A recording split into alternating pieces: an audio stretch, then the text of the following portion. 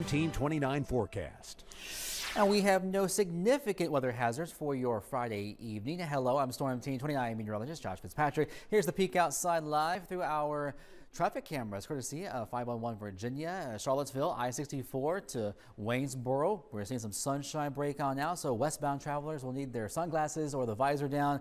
Also, we're seeing some uh, dry skies at Route 33 and 29 at Ruckersville into Greene County, and I-81 at Verona between Harrisonburg and Staunton. Traffic moving right along with sunshiny skies breaking on out. There could be a rogue shower here or there, but nothing widespread, nothing like what we had uh, 24 hours ago when a lot of the area picked up some beneficial rainfall. 81 degrees currently in Charlottesville and also in Staunton. Uh, NBC 29's live Doppler radar scope is showing most of the area is rain free. We're seeing just a couple of spotty little showers uh, between Palmyra, Lake Monticello, and Fork Union, and not too far away from the Scottsville area. But if it does rain in your neighborhood, it won't last more than about 15 minutes. A couple of little showers west of Ruckersville, west of Stanardsville, and that is drying up as it shifts along the northern Blue Ridge there. But you can see about 99% of the region is on the rain-free side currently. I don't expect widespread rain anytime soon.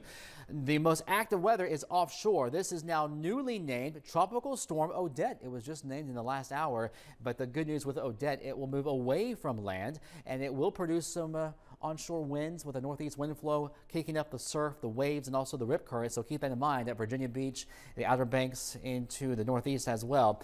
But it looks like for us, we're going to have that northeast wind flow that locked in the clouds today, but finally we're seeing some sunshine break on out now. And with the humid atmosphere, I can't rule out a stray shower chance this evening and once again tomorrow evening for parts of the area. We're going to remain on the humid side and above average temperature wise for the next few days and nights. Our rapid refresh high res forecast model shows this evening a stray shower chance through about midnight.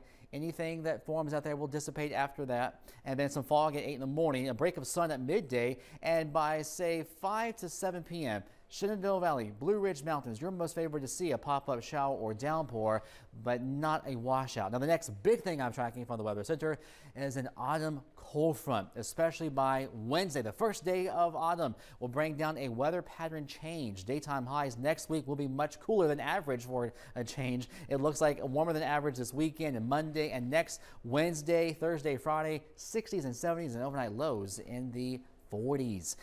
Rainfall wise, beneficial rain in the Tuesday through early Thursday timeframe. Forecast models are painting a half inch to two inches of rainfall midweek next week. For tonight, though, a spotty shower, not a washout for high school football or Fridays after 5. Lows in the 60s by daybreak, areas of fog. Tomorrow's forecast, low to mid 80s, partly sunny, a stray shower chance, not a washout though. Seven day forecast, 60s tomorrow night in the 80s and mainly dry Sunday. Low 80s on Monday, a passing shower, better chance of rain later Tuesday, Wednesday. Wednesday, early Thursday, with a much cooler and dry weather pattern to follow.